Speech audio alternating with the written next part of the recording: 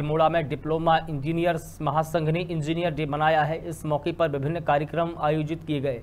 Engineer day पर diploma engineer महासंघ ने जिला अस्पताल के ब्लड बैंक पहुंचकर 30 यूनिट ब्लड डोनेट किया है। साथ ही लेप्रोसी मिशन में रह रहे कुष्ठ रोगियों को फल और अन्य सामग्रियाँ वितरित की है।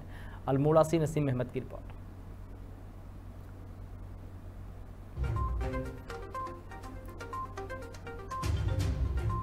महान जो अभियंता थे विश्व सुरैया जी, उनके याद में हम लोग हर साल पंद्रह सितंबर को यहाँ पे पूरे देश में अभियंता दिवस मनाते हैं और उसी के उपलक्ष्य में हमारे द्वारा आज यहाँ पे जिला हॉस्पिटल में ब्लड बैंक में लगभग तीन सौ, तीस यूनिट लगभग ब्लड दिया गया है और इसके बाद करबला में लेप्रोसी मिशन में जो भी वहाँ पे कुष्ठ रोगी हैं, उनके लिए हमारे द्वारा कुछ सामग्री वहाँ पे वितरित की गई है।